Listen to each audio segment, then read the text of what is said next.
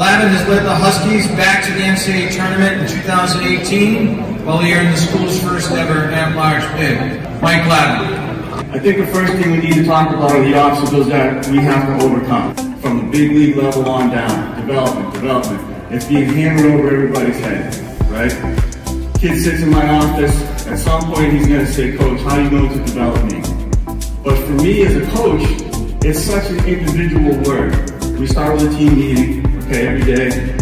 Talk to the guys, you know, hey, tell them about my riding, maybe what that looked like.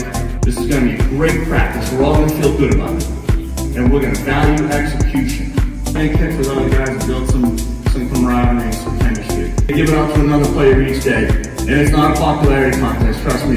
Guys go the whole year and don't get it. All right, so it's a great way to recognize and honor hard work and dedication by your players, okay? Flip the script on, and then add all new drills. Watch the anxiety, the stress level go up, and you, you've done your job. Because now you're valuing, can they adapt? Maybe the execution isn't going to be good. You have to let your guard down. It's not going to be as good as a routine practice. Let the guard down, value the adapting of your players to see what that looks like. Thank you for having me. I appreciate it. I had a blast. I wish everybody a happy, healthy spring. Good luck.